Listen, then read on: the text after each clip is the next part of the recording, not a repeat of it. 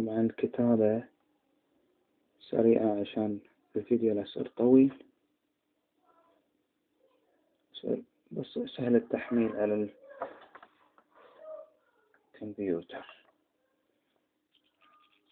نتمنى من الأستاذ أكله إنه يسمح لنا على العجلة يعني.